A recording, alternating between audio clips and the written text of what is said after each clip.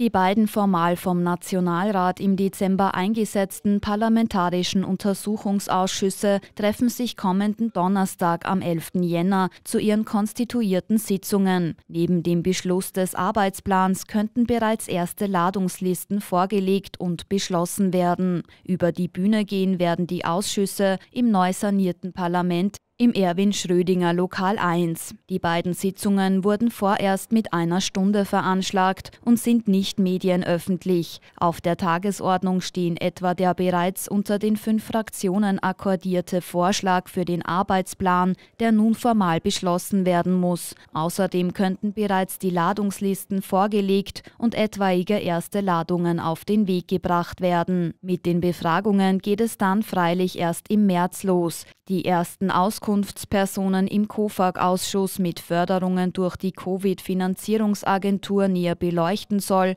können für den 6. und 7. März geladen werden. In der darauffolgenden Woche beginnt am 13. und 14. März der von der Volkspartei alleine getragene Ausschuss zum rot-blauen Machtmissbrauch, der die Regierungsbeteiligung von SPÖ und FPÖ in der Zeit vom 11. Jänner 2007 bis zum 7. Jänner 2020 unter die Lupe nehmen will, mit der Befragung erster Zeugen. In weiterer Folge wird wochenweise gewechselt. Beide Untersuchungsausschüsse bestehen jeweils aus 13 Mitgliedern exklusive der Vorsitzenden. Jeweils fünf Abgeordnete sind von der ÖVP, drei von der SPÖ, je zwei von FPÖ und Grünen sowie ein Mandatar bzw. eine Mandatarin von den NEOS. Selbige Verteilung gilt für die 13 Ersatzmitglieder.